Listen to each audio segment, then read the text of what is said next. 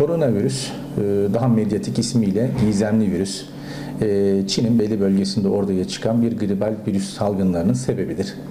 Aslında çok bilinmedik bir virüs değil. E, Geçtiğimiz yıllarda SARS virüsünün ciddi oranda benzerlik gösterdiği bir virüs. E, Bulaşma yöntemi aslında yolu hayvandan insana e, olmakla birlikte son dönemlerde virüsün şekil değiştirip insandan insana bulaşma gösterdiğini de gözlemliyoruz.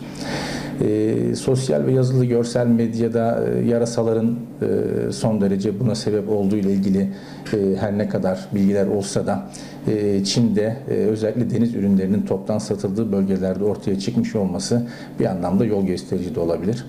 Koronavirüs enfeksiyonu aslında çok da farklı bir yapıya sahip değil. Klasik gribal enfeksiyonlara benzer şikayetlerle kendini belli ediyor. Bunlar neler? Boğaz ağrısı, öksürük, baş ağrısı, karın ağrısı, bulantı, kusma, eklem ağrıları ve hastalarda ciddi halsizlikle kendini belli ediyor.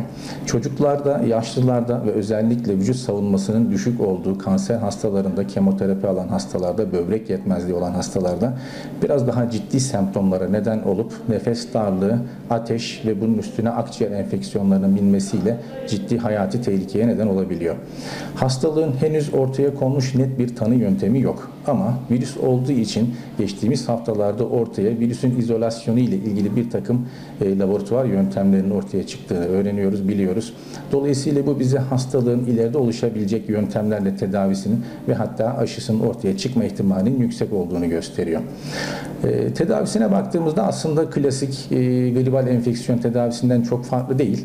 Yapılması gereken şeyler elbette ki vücut direncini artırıcı beslenme, e, ciddi istirahat, bol sıvı tüketimi, bunun dışında korunma yöntemleri son derece önemli. E, hastalığa bulaşan kişilerden mümkün mertebe uzak kalınması, e, AVM'lerde özellikle okullarda, e, toplu yaşam alanlarında e, bu hastaların e, mümkün mertebe izolasyonunun sağlanması, e, merdivenler gibi, kapı kolları gibi, para gibi virüsün uzun süre canlı kalabileceği e, materyallerde dokunulduktan sonra ellerin yıkanması, hatta bunun alışkanlık haline getirilmesi, e, hastalığı hisseden kişilerin hapşurma sırasında e, dirsek iç kısmı ile ağızlarının burunlarının kapatılması ve hatta e, kullanıp atılıp mendillerin e, kullanımının e, biraz yaygınlaştırılmasıyla nispeten korunma sağlanabilir. Hastalığın ilerleyen dönemlerinde eğer gerekir ise e, risk altındaki kişilerin hastaneye yatışı e, hekim tarafından gerekli tedavilerin planlanması uygun olur. Evde geçirilebilecek düzeydeki hafif hastalıklarda yine hekim tarafından önerilebilecek e, ateş düşürücülerin, ağrı kesicilerin ve e, istirahatlerle bu hastalıktan kurtulmak mümkün olacaktır. Aşılama için ciddi anlamda çalışmalar vardır. Şu an için ülkemizde bu risk olmadığı için aşılama çok gündemde değildir.